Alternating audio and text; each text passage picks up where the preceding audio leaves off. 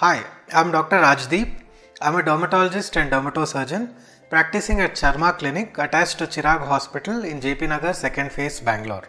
So, skin texture can vary depending on several factors. One of the factors is moisture content in the skin, and usually dry skin has a bad texture. Even excessively oily skin also can have a bad texture or dull texture.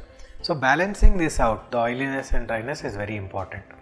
So, having a good skincare regimen is the first thing. Just doing some procedure is not going to give miraculous results. There are procedures which improve hydration of the skin where hyaluronic acid is injected into the skin. There are different various products for that and these usually last for about anywhere between 3 months to 1 year and it can be repeated again. So these are more expensive procedures and uh, taking care of your skin using good serums or moisturizers, face wash, all that is more important to maintain these things. Another uh, procedure that we do is peel. So peel there are different types. We do peels like lactic peel to improve the hydration or arginine peels.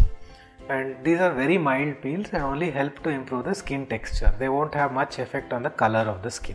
And lastly, we also do a procedure called laser toning, which helps to improve the texture of the skin.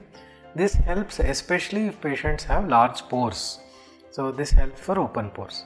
And another treatment that we do for open pores that helps people with bad skin texture is uh, micro botox or micro neurotoxin injection.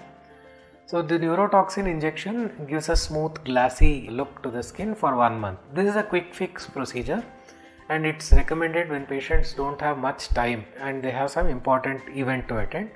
This can also be repeated frequently once the effect wears off.